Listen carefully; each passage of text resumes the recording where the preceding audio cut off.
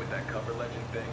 You know, the one where I'm a contractor hired to guard oil pipelines and, you know, try to make some more cheddar and shit? And you like that I can talk talk about Santa Muerte too? Guess what? On That the spot, the big dog asked me to be a Santa Blanca lieutenant. And get this, he doubled the pay I was asking for. so congratulations.